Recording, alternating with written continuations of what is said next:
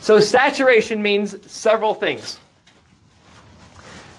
The most important thing you need to remember about saturation is this right here.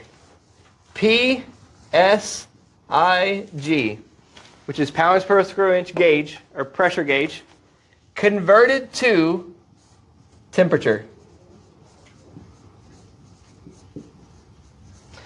I'm going to add several things to it, but if there's nothing else you remember about saturation, I want you to remember that. I want you to know that so well to when I say, uh, hey man, what's saturation? PSIG converted temperature. Oh, good. Uh, hey man, what's saturation? PSIG converted temperature. Do you know what saturation is? PSIG converted temperature. Hey, what's saturation? PSIG converted temperature. I'll just be boom, just like that. Anytime somebody's just having casual conversation, oh yeah, some saturation. PSIG converted temperature. Boom. Right there. Here's why.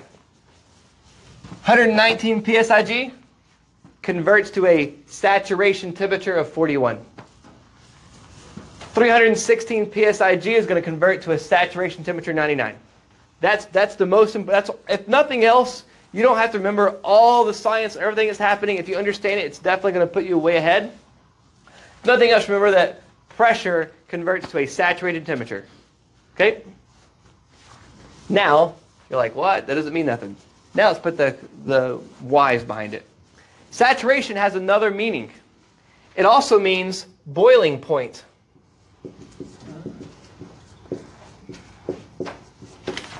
So, if my pressure is 119, I have a saturated temperature of 41, what's my boiling point? 41. 41. Fantastic. But wait, that's not all. For the low, low price of saturation, you get PSIG converted temperature, you get boiling point, and we'll throw in for free evaporation point or the evaporator temperature. Either way you want to word it. But if you order now, you're also going to get condensing. So over here, it also means this one word, condensing. The condensing point. How beautiful is that? Look, one word a means pressure converted to temperature, but I can just simply say my suction saturated, and that's going to be suction is going to be blue gauge, right? Suction saturated is what's happening in my evaporator. Or it also means where my refrigerant's boiling at. It also means pressure converted to temperature. But that one word, if I say my head pressure or the high side, it also means my condensing temperature. I can use one word. What's my saturated temperatures? Well, my suction saturated is 41. My, the liquid saturated is 99. One word. It's a beautiful word. One word means boiling, evaporation, condensing, pressure converted to temperature. But if that's not enough, for a limited time only, the forever of your career, we're going to throw this in. Change of state.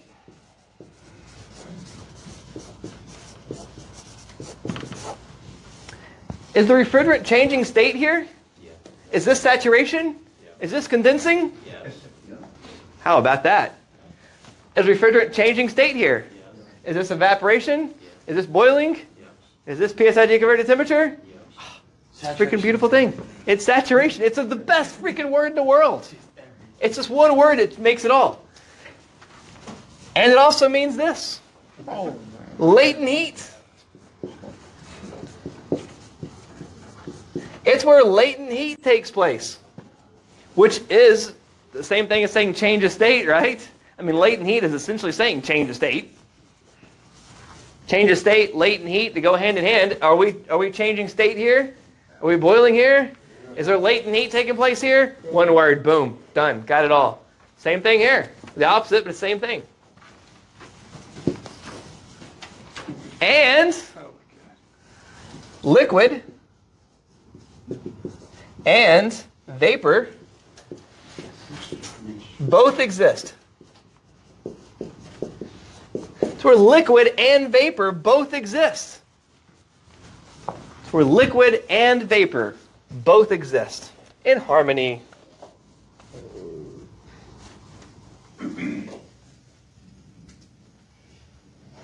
Let's see photos. What's that? Oh, nothing. Just had a phone. I just took a picture.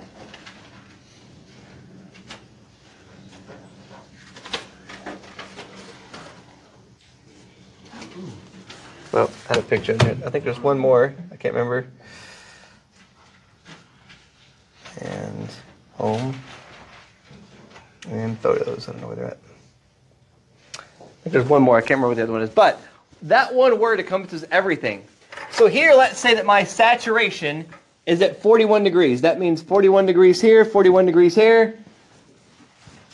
Let's say right here I'm all liquid. Here I'm about 25% liquid. I'm sorry, 75% liquid, 25% vapor. Here I'm about 50% liquid, 50% vapor. Here I'm about 75% liquid, 25% vapor.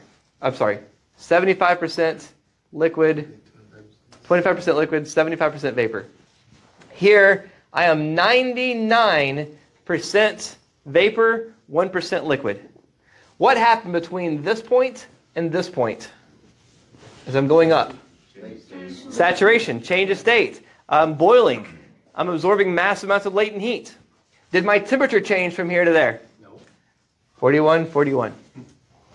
The heat's going somewhere, it's going into a change of state. Now, after I get to this point right here and I'm 100% vapor at 41 degrees, can we still absorb heat? Mm-hmm. Yes, we can. What's going to happen here is I'm going to still absorb heat, but we're going to have a temperature change. So we're going to go from 41 to 42. Can we measure that? Yeah. So what kind of heat is that? Sensible heat. And then can I still absorb heat? Yes. 43. Can I still absorb heat? Yes. 43, the air is 75. I'd say yeah. 44, 45, 46, 47. As I'm absorbing heat, now I'm going to have a temperature change. It's a lot less heat that I'm picking up, but it looks like a lot because I can measure it. How awesome is that? You know what we call that? No, this is saturation. Sensible heat. Right? It is sensible heat, and saturation is latent heat, so it can't be saturation. Dude, awesome! Yes! Hey, he said so. That's cool. exactly right. He's like, like it's totally cool. Superheat. But not just superheat, it's a superheated what? Vapor, yes. Superheated vapor. Superheated vapor. So let's let's define superheat.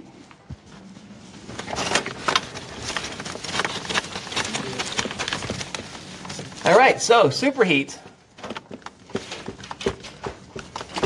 Superheat is heat added, actually, do it correctly, sensible heat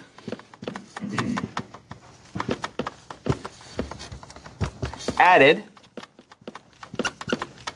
to vapor, right? Vapor above saturation. Sensible heat added to vapor above saturation. That's superheat. It's a superheated vapor. Here was a change of state. Latent heat's happening right here. After all my refrigerant changed from a liquid to vapor, can I still heat the vapor? Yes. yes. Yes. We can superheat the vapor. And as I superheat it, I'm going to have a change in temperature. Can we measure that? Yeah. So that's sensible. So superheat is heat added to the vapor above saturation. Follow me? If I put a thermometer right here, could I get the temperature of this line? This copper line? No. Yes, I could. And it's copper. Does copper conduct heat well? Yes. Yes, it does. Good. That's a good answer. Because when somebody says no, I go grab a piece of copper and I turn the torch on and tell me to hold it. So it's, it's good. If you think I'm lying, you can ask this guy over here. so what we do is we add heat to it. Uh, the temperature is going to go up. We're going to boil that refrigerant into a vapor, and then we're going to put a thermometer here. The temperature of this copper will be the same temperature as the refrigerant. So if I put a thermometer here, and this thermometer says 61 degrees Fahrenheit, but saturation, because of my gauge, says 41 degrees Fahrenheit, Can I measure that? Yeah. I change state at 41, but my actual temperature is 61. So my actual line temperature is 61 minus my suction saturated at 41. What do we get? 20. The refrigerant is superheated 20 degrees above its saturation point. Its maximum point that it can hold heat and stay liquid is at 41. We've heated it up so much so where all the liquid's gone and now it's vapor. We have superheated that refrigerant beyond its saturation point. According to the refrigerant, it has gained so much heat that it's above its saturation point. So according to the refrigerant, it is superheated. It's boiled into a vapor and now it's massive amounts of steam. But according to you and your feelings, when you touch this line, it's low temperature because it's low pressure. But according to the refrigerant, it's a superheated vapor. And that's why I said that blue line does not mean cool, cold, otherwise. It means low temperature, low pressure, superheated vapor because the refrigerant is a superheated vapor. You, the refrigerant has its own, according to it, it is superheated. According to you, well, that's low temperature, but the refrigerant doesn't care about your feelings. According to it, it is superheated into a vapor form. You had a question? Uh, 41 Fahrenheit, is that only for 40, 410A? That's only for 410A at 119 psi. If I change refrigerant or change pressure, that number will change. And I can manipulate, by manipulating this pressure, we manipulate that number. Awesome, huh? That's job. It's our job, it is. Thermodynamic experts. So let's think about, can you breathe superheat? No. Let's take a vote. How many people say no? Raise your hand. Yes. You said no. Raise your hand. how many people say yes? Okay. How many? The rest of you guys just don't care. Okay, not a problem. All right. So, uh, who has a, a Google or can Google something quick? I can't say because my phone will hear it, and then it will probably mess up the recording. Yeah, it- you know you do. Yeah. Yeah. I love to just do that on YouTube, just randomly, just so people will hear it and their phones will go off. Yeah, I'm surprised nobody else got that because it still a changes. or if you have Siri, hey Siri. So what I want you to do is, uh, what is, do you guys know before we do that? Do you guys know what the air is made of? What we're breathing is what it's made of. Like 78% nitrogen, Oh, you're right on. Seventy-eight percent nitrogen, uh, some, like a low percentage of hydrogen. twenty-one percent oxygen,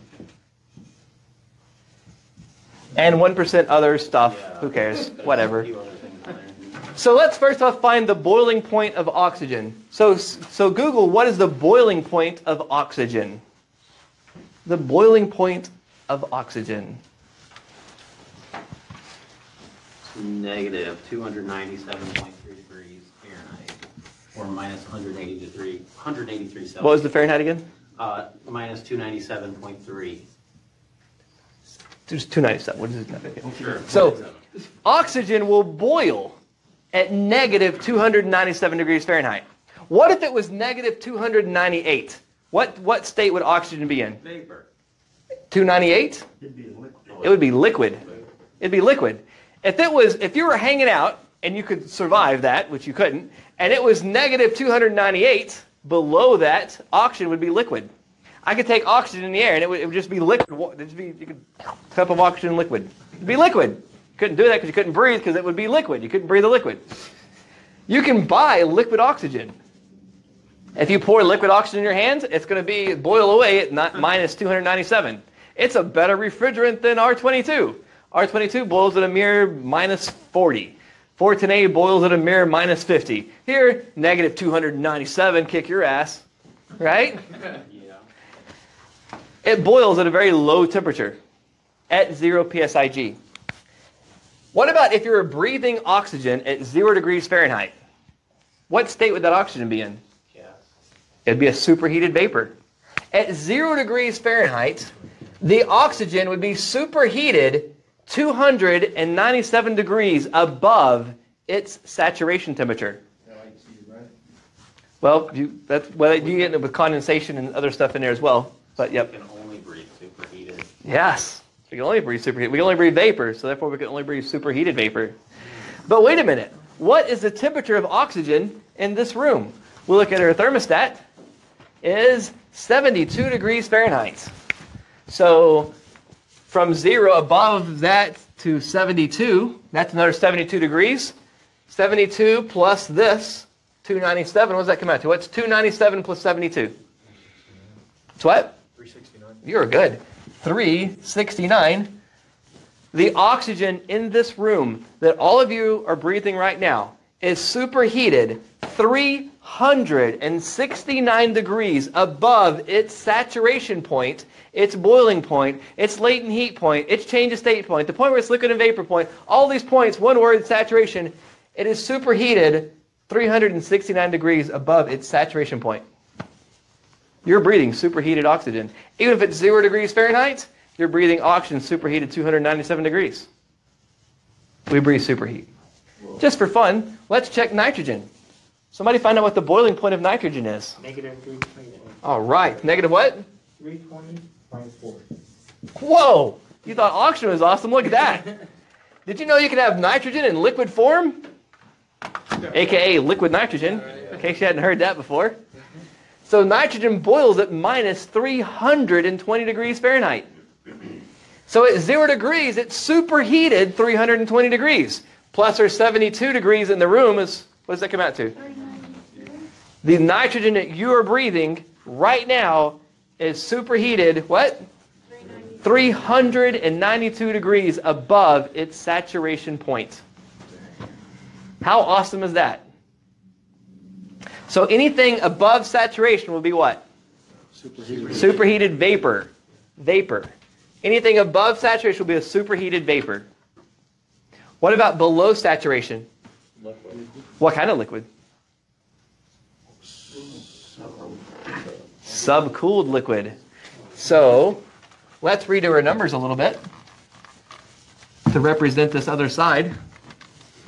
Over here, what was my saturation temperature? 99. Got 99 problems, but saturation ain't one. So the refrigerant here is 99 degrees, all vapor. If I take heat away from it, it's still going to be 99 degrees, but there's going to be more liquid. Here, there's going to be about 50% liquid, 50% vapor, right? But it's still going to be at 99 degrees. If I continuously take heat away from it, it's going to be 75% liquid, 25% vapor. Right here, about 99% liquid, 1% vapor. Finally, right here is going to be 99 degrees and all liquid, right? Did I not change state? So on the condensing side, I'm going this way from a vapor back to a liquid. But if it's at 99 degrees and the air temperature is, say, at 80 degrees, is there going to be heat transfer? Oh, yes. 80 degrees, 99 degrees? I say yes. Heat's going to leave the refrigerant and go to the cooler air outside. What's going to happen to the, my refrigerant? It's going to drop. Yes! Can we measure it? Yes. So what kind of heat is it? Sensibly, damn straight. 98 degrees Fahrenheit. Still, there's a temperature difference, right? Yep. Can we have heat transfer? Good. 97 degrees Fahrenheit. Is there a temperature difference? Can we have heat transfer? 96 degrees Fahrenheit. 95 degrees Fahrenheit. 94, 93, 92, 91, uh, 90, 89 degrees Fahrenheit. So right about here, if I was to measure the temperature of that line, and it said 99 degrees Fahrenheit, uh, 89 degrees Fahrenheit, and it changes state at 99, what state is the refrigerant right here? A subcooled liquid. It changes state at 99. Anything below 99 is going to be a subcooled liquid. It's not just liquid, it's a subcooled liquid. So let's define subcooling. Subcooling is Well, well on its way to becoming solid. it true, it is on its way. Eventually we could get there. When would oxygen become a solid? I don't know the exact temperature, but I know at absolute zero, it would absolutely be a solid. Yep. Yep. It would for sure be. At absolute zero, all molecular motion stops, all life stops at absolute zero. My ex-wife's heart, it's there. There's no life in that. Beep. All right. Cooling, subcooling, sensible heat. Sensible heat removed.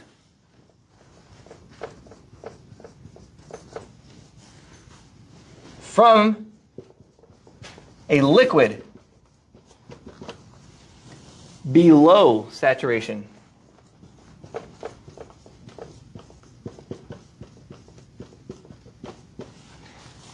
Superheat is sensible heat added to vapor above saturation. Subcooling is sensible heat removed from liquid below saturation. So anything below saturation is going to be a subcooled liquid. Anything above saturation will be a superheated vapor. So here we're boiling it from a liquid to a vapor, and then I superheat it.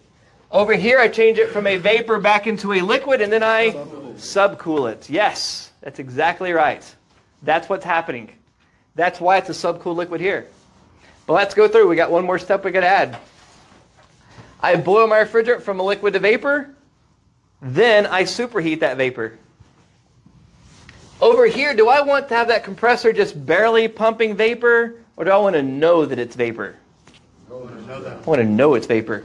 If my saturation was at 41 and the line temperature right here was at 41, what's coming into the compressor? It changes state at 41. My actual line temperature is 41.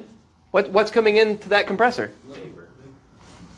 Most likely there's going to be some liquid, but how much? It's a mixture. It's a, we don't know. We can't measure it because it's latent. We can't measure it. It's hidden. There could be 100% liquid. There could only be, maybe it's all vapor. Maybe it's 99.9% vapor and 0.01% liquid. But either way, we don't know. It's a bad thing. I don't want to take a chance on it. I want to know that there's vapor. I never want to have less than 5 degrees of superheat coming into this compressor. I want to know that it's a superheated vapor. I want to know that vapor's coming in because it's what kind of pump? Vapor pump. That's right. It's not a saturated pump. It's not a liquid pump. It's a vapor pump. Yes, sir. Absolutely. Yeah. But you don't have to ask. You just go. If you can do jumping jacks. so, I have superheated vapor coming into the compressor, right? So what's going to be coming out of the compressor? Vapor. Superheated vapor. Let's say right here it's superheated um, 25 degrees superheat. I'm also gaining heat in my compressor. That low temperature refrigerant is cooling the compressor off. So that heat's going in as well, plus the heat of compression. So coming out, my refrigerant could be superheated. Uh, on this side, it could be superheated, let's say 50 degrees above its saturation point. Could happen. What's my saturation point here? What's 99 plus 50? 149. 140. My, the temperature of my refrigerant here could be 149 degrees without a problem. Is that warmer than the air temperature? Yes. So what's going to happen? It's all to the 8,000. It's going to so we're going to drop 148, 140, uh, 147, one. I'm getting tired. 146, 145, 144, 143. Blah blah blah blah blah blah blah. What's happening here? I'm not subcooling. The heat's escaping. If I'm at 99 and 100, 101, 102, 103, 104, etc. Now I'm going this direction. What am I doing right here? If I'm going this direction, I'm adding superheat, right? If I'm going this direction, what am I doing? De-superheating. De-superheating.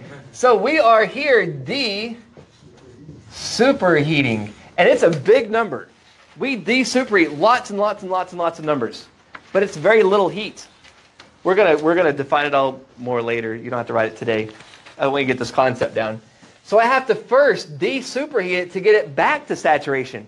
The top of the condensing coil, the coil, that's de-superheating. Big numbers, but very little heat transfer, very little space in that coil. Like the first tube or so, it does it.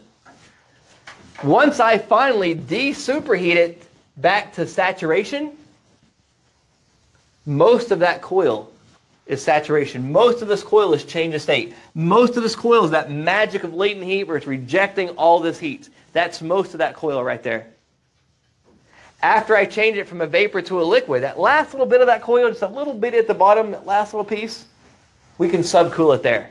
It Doesn't take very much. It's I can measure it, 10 degrees in this case, but it doesn't take very much energy.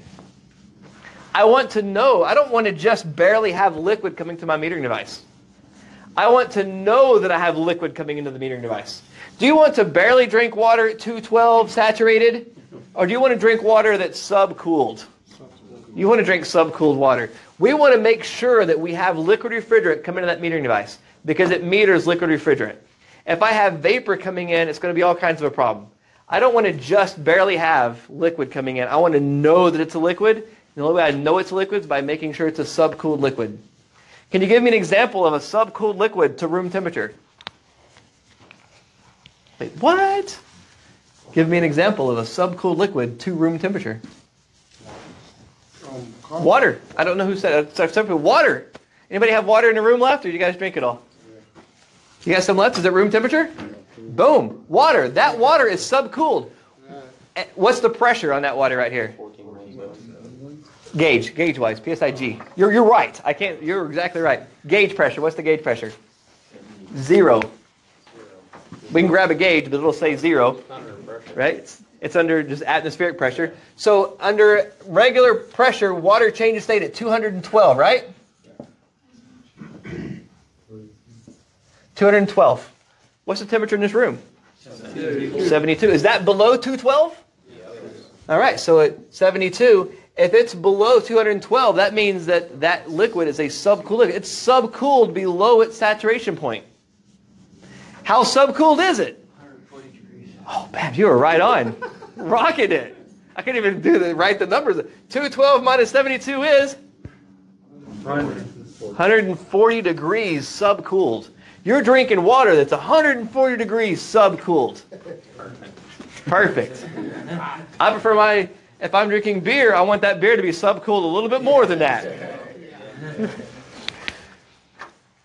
Even if we heat that water up to where it's 200 degrees Fahrenheit, 200 degrees Fahrenheit, it is subcooled how much? 12 degrees. See how your feelings, you have to separate your feelings from it? Because your feelings like, oh, that water's hot.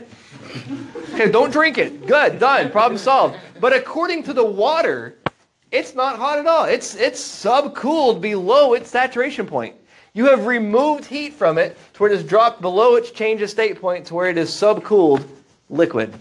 So pretty much, to make things simple, scientifically it's not correct, but to make things simple, if it's a liquid, it will be what kind of liquid? Subcooled liquid. And if it's a vapor, it's going to be what kind of vapor? Superheated vapor. So you're going to be talking to somebody like, yeah, I'm going to be vaping. You're like, well, it's a superheated vaping you're doing. right? Because it's going to be a vapor. It's going to be a superheated vapor. It's going to be a liquid. It's going to be what kind of liquid? Subcooled liquid. Superheated vapor, subcooled liquid. Superheated vapor, subcooled liquid. Right? Questions? It's a lot we've covered, right? But hopefully it's it's interesting. Hopefully it makes a little bit more sense today than yesterday. But ideally, I've added enough stuff to make it like, okay, I understand yesterday better, but now I'm more confused about this. Perfect. That's where I want you to be. Perfect. This will make more and more sense as we start doing it more and more. We're going to go to the lab tomorrow and do this. We're going to put our pressure gauges on it and get our saturated temperatures, just like we did today. But then we're going to put a thermometer on this line, and we're going to read what the actual temperature is. We're going to take the actual suction line temperature minus the suction saturated temperature and find out how superheated we are. Then we're going to get our liquid saturated temperature minus our actual liquid line temperature and find out how subcooled we are. Because that's something we can use. Regardless of pressures, I need to know how superheated I am and how subcooled I am. And we have a little formula to learn. We're going to do it in lab. It's going to all come together more and more. Nothing to do with the AC freezing. Oh, it, it will. Uh, we, we certainly. Actually, by the time you, before you leave here, you will have to be able to not only know why, but tell me why a unit freezes. And there's one reason, if you want to know the answer, I'm going to answer it for you in the simplest way possible. The reason an AC freezes, saturated temperature is below 32 degrees. I know that, I mean. Well, why'd you ask? If this saturated temperature is below 32, degrees. Hey, let me ask you this. Is that always a bad thing? No. If I have an ice machine, that's a good thing. I want that, sat- if this is an ice machine, this is my evaporator. I want this to be below 32 degrees. I want to take ice to make it go from a liquid to a vapor, I'm sorry, from a liquid to a solid. I need to remove latent heat from the ice. So I need this to be like 28 or even lower so that I can have heat transfer to get the heat to leave the water and go to the refrigerant. It has to be a lower temperature. So in some cases, we want it to be below 32. If I have a walk a blast freezer where it's below zero, I for sure have to have it below 32. Right? So much to it. So much to it. If we've got, I'm sure we've got a thousand questions. We're going to add more. We're going to get into the book. Hopefully tomorrow we'll be able to get into the book on your phone, on your uh, la- your tablets, and we'll um, show you how to do handle that stuff as well. I need to get with you on yours. Any questions? Tomorrow. They're not ready for it yet. Oh, there's a song coming up. You're gonna you're gonna love it. AKA hate it, but remember it.